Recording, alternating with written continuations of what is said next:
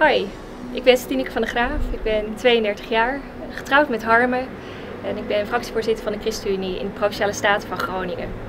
Ik woon ook in Groningen en daar heb ik van dichtbij meegemaakt hoe het is als mensen te horen krijgen dat je huis niet meer veilig is omdat hij getroffen wordt door een aardbeving als gevolg van de gaswinning. Daarnaast ben ik ook jurist.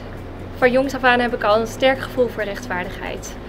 Recht doen waar onrecht plaatsvindt, dat is echt wat mij drijft. Onrecht vindt plaats in ons eigen land, maar ook over de grenzen heen. Daarom vind ik het mooi dat de ChristenUnie zich inzet voor vrede en recht wereldwijd door te investeren in defensie en ontwikkelingssamenwerking. En daar draag ik graag aan bij. Daarom ben ik kandidaat voor de Tweede Kamer.